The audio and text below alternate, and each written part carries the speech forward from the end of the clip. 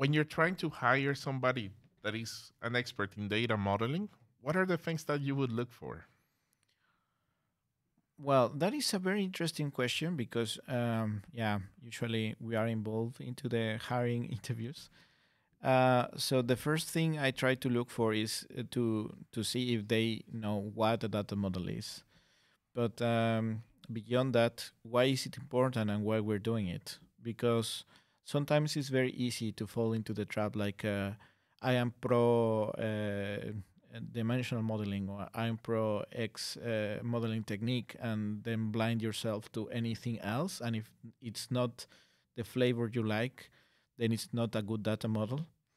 And I think that uh, now the data platforms and the data requirements for each business are so widely different that you are going to end having different data models in different stages of your data platform. And um, uh, you need to know a little bit of each one. Maybe not be an expert on on all of them, but and know them and see what are their um, main points and main strengths. You're talking about like things like Kimball, Data Vault, and so on, right? Yeah, exactly. Yeah, yeah, yeah. yeah. So the, the, the corporate information factory from Inmon or uh, the dimensional modeling, the enterprise data warehouse for uh, Ralph Kimball or the uh, business intelligence platform uh, from or Data Vault 2.0 from Daniel Linstedt that try to tackle different things on the data warehousing, specifically on the data warehousing but then if you go to the BI realm, you see other type of models like uh, one big table or uh, the normalized models that help uh, the BI tool to serve faster the data. And usually knowing what to use, it's a big question.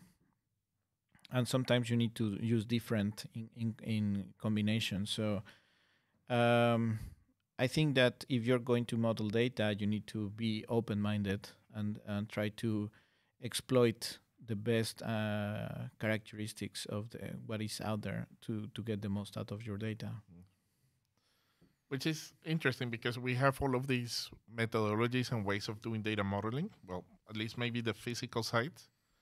And what I noticed quite a lot is we're in an age where a lot of people are handpicking some of the things that you like from this one, some of the things that you like from this one. Sometimes for better, sometimes for worse. But that seems to be a little bit what you were mentioning, right? Yeah, but well, there, there is a small difference between cherry picking what you like of of, of the methodology and using different uh, modeling techniques, right? If you decide to use Kimball, then I expect to see your dimension and your facts uh, clearly in your data model. If you say that you are using Kimball and I, I see normalized tables in your data model, then it's not Kimball. So I think that uh, for if if you really want to benefit from the methodologies that you're using, you need to to follow their standards, and you need to do things right. What I what I think is that you need to be open to the idea of okay, for this system, I need to model this in this way, and for this other one, it's better if I do this other thing, and maybe this third system needs a very um, uh, hard audit and it's uh, very different from others. So I better use this other technique. So I think that that is what I mean of being open-minded. Because if you start cherry picking uh, small parts of one methodology, then you end up with a Frankenstein, and then nobody understands what you're doing. By system, you mean technology, or more like the environment, the company, the constraints? Uh, that's a good question. So when I mean system is like the data system, so it can be the data warehouse or the cloud environment. But um, yeah, sometimes that uh, barrier it's a little or that line is a little bit hard to to draw because the business can also have different uh, views on things, and maybe you have data outside of your data system. That is the case, for example, with a lot of spreadsheets, Excel spreadsheets that are going around in emails here and there in many companies that we know. Uh, that is data that is not in your data system and you need to account for. That, that is also a challenge. Interesting. I think what we have been talking so far is really towards the physical and sometimes a little bit of the logical side of data modeling. But we haven't talked too much about the conceptual. No, that's true. So I think that the conceptual side of data modeling is tied more with the business side of things. So usually, what starts these conversations is um, if you are going to create a system uh, from scratch or if you're going to migrate a system from one system to the other, then usually you start asking the business what you want to achieve, where is your value, what are the things that you want to measure, and then uh, you start looking into things that uh, become key point areas and then um, key process key process areas and key point of interest. Um, so uh, then you start defining metrics and then you can uh, go into the into the logical how the data connects so i think uh, the conceptual part of uh, the thing uh, of data modeling is more on the how the business works understanding the business and translating that into how the data will represent it better in an ideal universe i would think the business fully handles the conceptual modeling part. Logical is more of a negotiation between the data team and the business.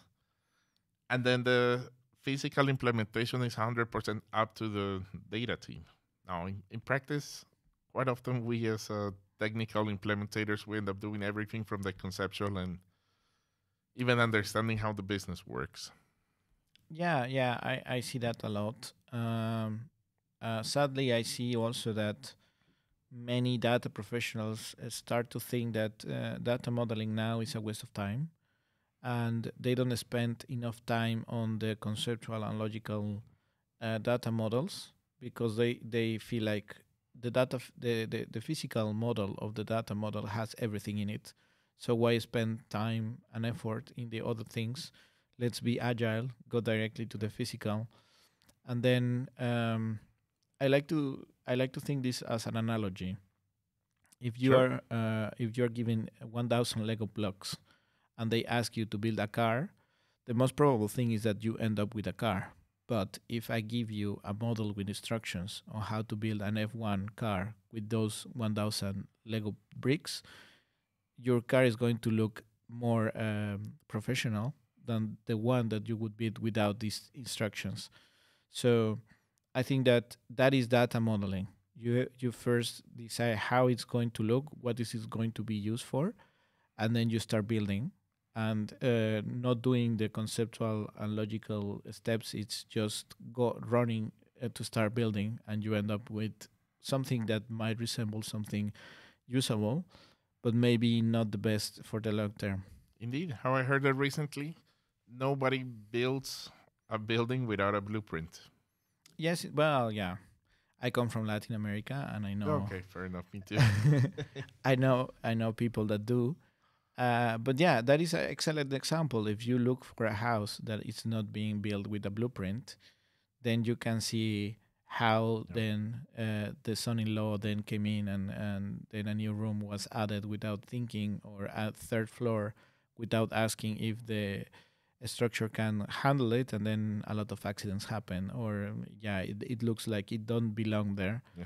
so i think it's the same it's the same analogy at the same time i don't necessarily blame us data professionals for having such a big emphasis on the physical part of data modeling because as somebody that recently started doing the conceptual part i've noticed it's really hard and I don't think that many people are built for that. Like you really need to be able to go talk to very important people in a company and get them to agree to things that they consider very trivial like no tell me when exactly somebody becomes a customer or what should be the official word for this in French or the official word for this in English, Spanish or whatever whatever places where your company also happens to sell.